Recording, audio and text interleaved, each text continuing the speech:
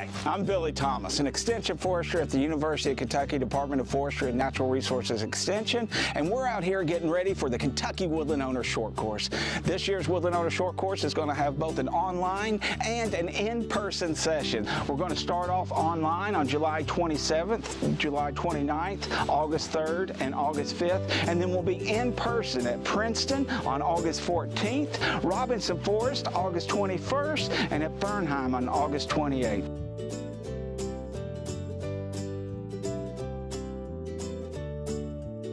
We're going to be talking about the who, what, when, where, and why of woodland management here in Kentucky. And we're going to throw in a bonus how you can go about doing it. So please join us on July 27th for the five W's of woodland management in Kentucky.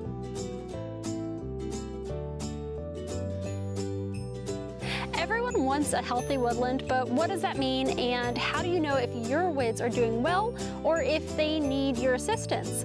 In the Woodland Owner Short Course this year, we're going to be talking a little bit about what are the characteristics of healthy and unhealthy woodlands and what do you do when you find problems. So we're going to be looking at some common issues, how to address them, as well as testing out a new app, Healthy Woods, that'll walk you through that process by yourself in your own woodland. Hi, I'm Dr. Jacob Muller with UK Forestry Extension. I'm out here in Princeton, Kentucky uh, with the Woodland Owner Short Course. Uh, many of us have woodlands uh, and we've thought about managing those woodlands, but we just don't know uh, where to start.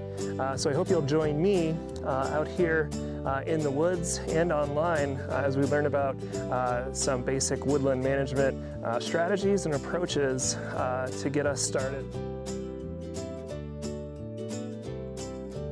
Hi, this is Dr. Matt Springer with the Department of Forestry and Natural Resources, here to talk to you a little bit about wildlife management and your property. I am out here in Princeton, Kentucky right now scouting out locations for the field component of our Woodland Owner Short Course. We're going to discuss practices that you can put in place on your property that will both benefit wildlife and potentially have a financial assistance go along with it. So if you're interested in learning more about how to manage your property for wildlife, please join us at the Woodland Owner Short Course